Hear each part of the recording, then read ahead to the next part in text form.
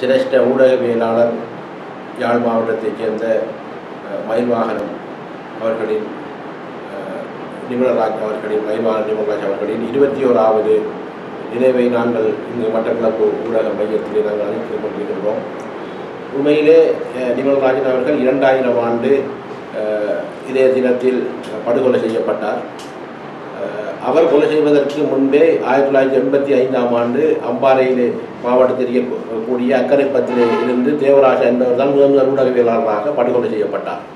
ஆனால் இரண்டாயிரம் ஆண்டு நிமல்ராஜன் அவர்கள் படுகொலை செய்யப்பட்ட போதுதான் ஊடகவியலாளர்கள் மத்தியிலே ஒரு எழுச்சியும் ஒரு ஒரு இவ்வாறான ஒரு ஊடக படுகொலை இடம்பெறுகின்றது என்கின்ற ஒரு அஹ், எல்லோர் மனதிலும் ஒரு பயங்கரமான ஒரு நடவடிக்கைகளை தோற்றுவித்தது.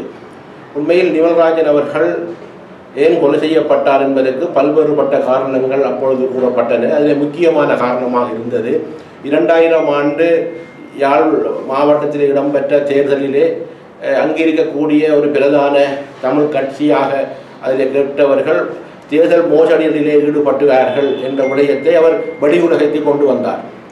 அப்பொழுது அவர் வெளியுலகத்துக்கு கொண்டு வந்த போது வெளியிலே அந்த செய்திகளை கசிய விட்ட போது அவருக்கு எதிராக பல அச்சுறுத்தல்கள் அவருக்கு வந்து கொண்டிருந்தது. அதை அவர் தொடர் தொடர்ச்சியாக சொல்லிக் கொண்டிருந்தார். எனக்கு பல அச்சுறுத்தல்கள் வருகின்றது என்ற விடயத்தை கூறிக்கொண்டிருந்தார் ஆனால் அந்த அச்சுறுத்தல் இடம்பெற்றதற்கு பிற்பாடுதான் திடீரென்று இவர் பிபி பிபிசி சிங்கள சேவைக்கு செய்திகளை வழங்கி கொண்டு அதை முடித்து வைத்ததற்கு பிற்பாடு வீட்டிலே சென்றவர்கள் இரவு ப பத்தொன்பதாம் தேதி இரவு பத்து மணி அளவில் இவரை சுட்டுக்கொலை செய்யப்பட்டார்கள்.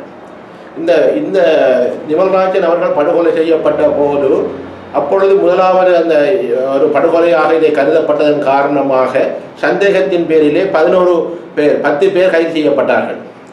அங்கே இருக்கின்ற புலனாய்வு ஆய்வு ஆய்வாளர்கள் அதை விசாரணை செய்து யாழ்ப்பாணத்தில் இருக்கின்ற புலனாய்வாளர்கள் பத்து பேரை விசாரணையில் கொண்டு சென்றார்கள்.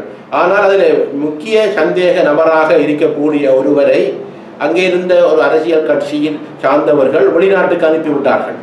அதன் காரணமாக அந்த விசாரணை தொடராமல் இடையிலே அந்த விசாரணை முடக்கப்பட்டு அந்த பத்து பேரும் அஹ், பிறகு விடுதலை செய்யப்பட்டதாக அந்த செய்திகள் அப்பொழுது வந்திருந்தன இதை ஏன் கூறுகின்றேன் என்றால் அரசியல் செல்வாக்கு காரணமாக ஒரு அரசியல் கட்சியிலே சேர்ந்தவர்கள் இவரை கொலை செய்தார்கள் என்ற பிரதிபலிப்பு பவ பரவலாக கூறப்பட்டது. யார் அந்த கொலை செய்தார்கள் என்று பெயர் குறிப்பிட்டு கூட கூறப்பட்டது. அவர் வெளிநாட்டுக்கு சென்று தப்பிச் சென்றதாக பிறகு ஊடகங்களிலே செய்தி வந்தது. இன்று இருபத்தி ஒரு ஆண்டுகளை நாங்கள் நிவர்ராஜன் அவர்களை அனுஷ்டித்துக் கொண்டிருக்கின்றோம். இவர் எண்ப எண்பத்தி ஐந்தாம் ஆண்டு முதலாவது கொலை செய்யப்பட்ட அம்பாறையில் இருக்கக்கூடிய தேவராஜா தொடக்கம். தொடர்ச்சியாக இதுவரையிலே நாற்பத்தி நாலு ஊடகவியலாளர்கள் படுகொலை செய்யப்பட்டிருக்கின்றார்கள். இந்த நாற்பத்தி நாலு பேரிலே முப்பத்தி நாலு தமிழ் ஊடகவியலாளர்கள் படுகொலை செய்யப்பட்டிருக்கின்றார்கள். ஏழு சிங்கள ஊடகவியலாளர்கள் படுகொலை செய்யப்பட்டிருக்கின்றார்கள். இரண்டு இஸ்லாமிய ஊடகவியலாளர்கள் படுகொலை செய்யப்பட்டிருக்கின்றார்கள். இந்த நாற்பத்தி நாலு ஊடகவியலாளர்கள் படுகொலை சம்பந்தமாக நாங்கள் தொடர்ச்சியாக ஊடக அமைப்பாக இருக்கலாம் அல்லது சர்வதேச மனித உரிமை அமைப்புகளாக இருக்கலாம் அல்லது இலங்கையில் இருக்கக்கூடிய மனித உரிமை அமைப்புகளாக இருக்கலாம். விசாரணை செய்யுங்கள் என்கின்ற கோரிக்கையை மாத்திரம் நாங்கள் சொன்னாலும் கூட அது சர்வதேச அமைப்பாக இருக்கலாம் அல்லது இலங்கையில் இருக்கக்கூடிய நீதிமன்றங்களாக இருக்கலாம். இதுவரையிலே எந்த ஒரு கொலைக்கான சந்தேக நபர்களும் கைது செய்யப்படவும் இல்லை. கைது செய்யப்பட்டவர் கூட விடுதலை செய்யப்பட்டதுதான் வரலாறாக இருக்கின்றதே தவிர ஆனால் ஒரு நீதி ஒரு தீர்வு இல்லாத சூழ்நிலையில் தான் இப்பொழுது இருந்து கொண்டிருக்கின்றது. இந்த இரண்டாயிரத்தி எட்டாம் ஆண்டு சர்வதேச ஊடக மையத்தினால் நூற்றி எழுபத்தி மூன்று நாடுகளை கொண்ட ஒரு சர்வதேச அமைப்புகளினால் ஒரு பட்டியல் வெளியிடப்பட்டிருந்தது. அதிலே ஊடக சுதந்திரத்தை பாதிக்கின்ற மீறுகின்ற நாடுகள் வரிசையிலே இரண்டாயிரமாம் ஆண்டு இரண்டாயிரத்தி நான்காம் ஆண்டு இலங்கை ஐம்பத்தி அறுபத்தி ஒரு இடத்தில் இருந்தது. ஆனால் இரண்டாயிரத்தி எட்டாம் ஆண்டு நூற்றி அறுபத்தி ஐந்தாம் இடத்துக்கு தள்ளப்பட்டது என்றால் நூற்றி எழுபத்தி மூன்று நாடுகளிலே இரண்டாயிரத்தி எட்டாம் ஆண்டு இலங்கை ஊடக சுதந்திரம் எந்த வகையில் இருக்கின்றது? ஏழு ஏழு நாடுகளைத்தான் முந்தி இருக்கின்றது.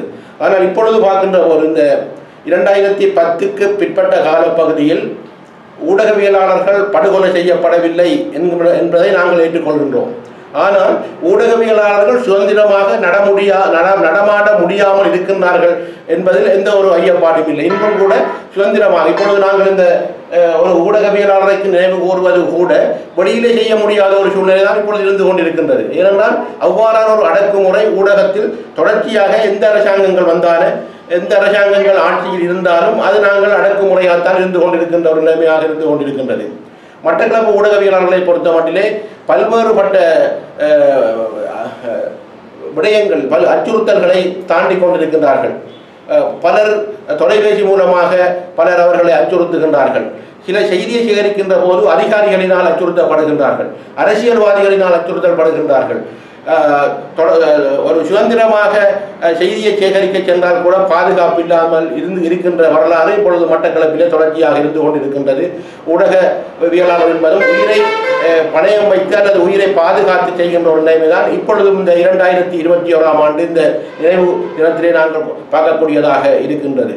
ஆகவே இறந்தவர்களை இறந்த பொதுமக்களாக இருக்கலாம் அல்லது ஊடகவியலாளராக இருக்கலாம் அல்லது போராளிகளாக இருக்கலாம் அல்லது யாராக இருந்தாலும் அதை நினைவு கூற வேண்டியது அந்த மக்களின் கடமைகளாக. அவர்களில் வளர்க்கப்பட்டவர்கள் அவர்களுக்கு கடமையாக இருக்கின்றது. அதை கூட நாங்கள் சுதந்திரமாக படுகொலை தான் செய்து விட்டாலும் கூட படுகொலை செய்தவர்களை நினைவு கூறுவதற்கு கூட ஒரு சுதந்திரம் இல்லாத நாடாக இலங்கை நாடு என்று தொடர்ச்சியாக இருந்து கொண்டிருக்கின்றது என்கின்ற ஒரு மனவேதனையை நாங்கள் படத்தில் தெரிவித்துக் கொள்கின்றோம். இதற்கான தீர்வு என்பது என்னை பொறுத்த மட்டில் இலங்கை அரசாங்கத்தின் ஊடாக எந்த தீர்வும் கிடைக்க மாட்டாது என்பதை நாங்கள் எப்பொழுதும் நாங்கள் உணர்ந்து விட்டோம். ஆகவே இவ்வாறான படுகொலைகளை செய்தவர்களை கண்டிப்பதற்காக சர்வதேச மூலமாக சர்வதேச நீதி விசாரணை மூலமாகவே இவர்களுக்கு விசாரணை கிடைக்க வேண்டும் என்கின்ற விடயத்தை தான் இன்று இந்த இருபத்தோராவது ஆண்டிலும் நிமல்ராஜன் அவர்களின் நினைவில் நாங்கள் நிலைநிறுத்திக் கொள்கின்றோம். ஆகவே அவரின் ஆத்மா சாந்தி அடைந்து அவரை போன்று இறந்தவர்களின் உயிர்கள் ஆத்மா சாந்தி அடைய வேண்டும். அன்னாரை போன்றவர்களை நாங்கள் தொடர்ச்சியாக நினைவு கூறிக்கொண்டே இருப்போம் என்பதையும் இடத்தில் கூறி விடைபெறுகின்றேன். நன்றி வணக்கம்.